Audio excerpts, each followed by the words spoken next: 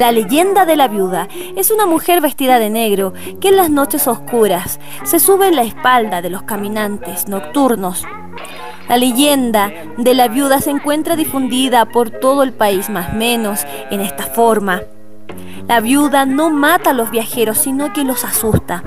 Después de morderlos un poco con el tradicional abrazo se arroja violentamente al suelo, produciendo su caída el ruido que haría al estrellarse contra el pavimento duro un saco lleno de huesos.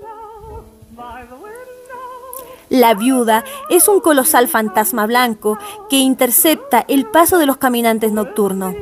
La viuda es un alma en pena que abraza a los caminantes nocturnos para decirles secretamente al oído el sitio donde se encuentra enterrado un grandísimo tesoro.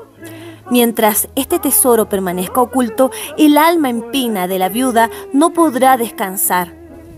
Pero ella misma frustra su propósito de descubrirlo, pues ahoga involuntariamente sus abrazos a las personas, a quienes intentan comunicar su secreto.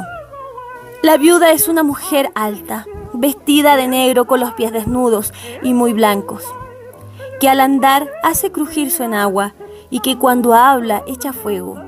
Persigue por lo general a los buenos mozos y a los que andan en malos pasos. A esto los abraza por detrás y algunas veces se les sube rápidamente por la espalda.